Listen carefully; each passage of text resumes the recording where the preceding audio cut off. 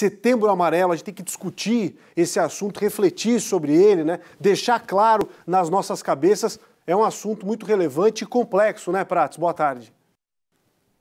Boa tarde, Polito. Olha, Polito, este Setembro Amarelo nos faz lembrar, nos faz pensar, temos que parar para pensar, que a grande inquietação existencial vem da consciência da finitude. Essa consciência da finitude, quando não bem compreendida e trabalhada, nos leva a desajustes de toda sorte. Uma delas, por exemplo, é de procurarmos pela felicidade fora de nós, colocando essa felicidade sobre algo ou alguém. Não. Se nós não acharmos a felicidade dentro de nós, e essa felicidade resulta do pensamento, do modo como percebemos e reagimos, é uma liberdade pessoal nossa.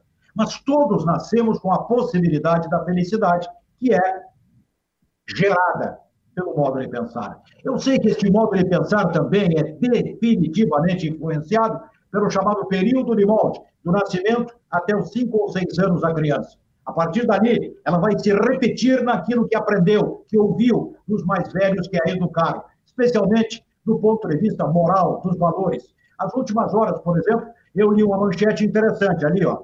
Aumenta a procura por intervenções estéticas onde a máscara não esconde. As pessoas estavam convivendo com seus rostos. A partir da máscara, descobriram que há rugas na testa e que há olheiras feias, desagradáveis.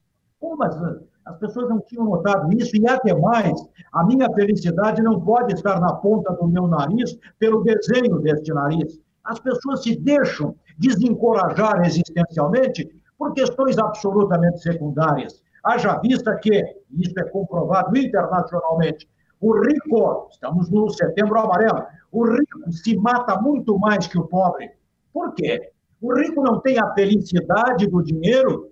Ocorre que quando chegamos ao pote do dinheiro, descobrimos que o dinheiro é de uma materialidade esvoaçante. Nós não conseguimos pegar a felicidade a partir do dinheiro. Que coisa boa, porque de outro modo o pobre estaria condenado à infelicidade. Não. A felicidade é uma possibilidade de todos nós.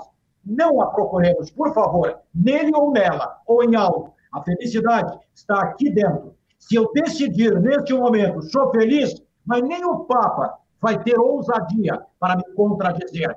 Eu decido sobre a minha felicidade. E quando chegamos a esta conclusão, a esta verdade, ser feliz ou infeliz depende absolutamente de nós.